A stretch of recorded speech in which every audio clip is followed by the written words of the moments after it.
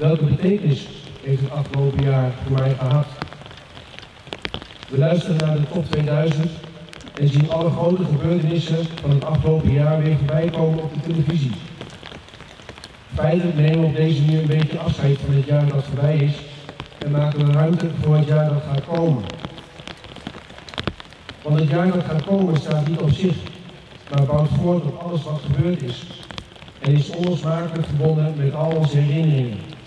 Net zoals wij ook allen onlosmakelijk verbonden zijn met elkaar.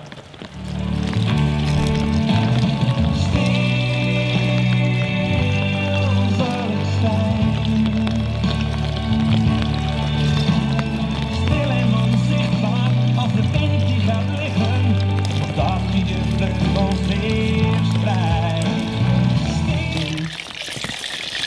Geef jezelf de kans om je licht te delen. Want door je eigen lichtstraling verbind jij je altijd met de ander.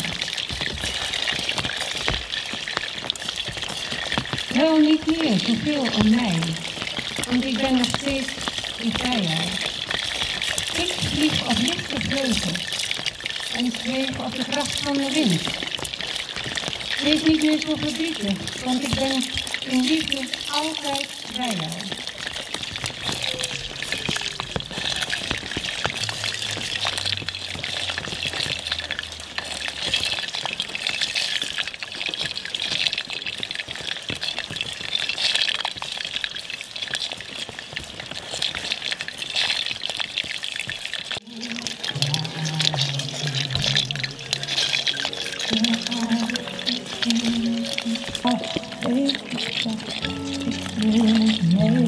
Oh.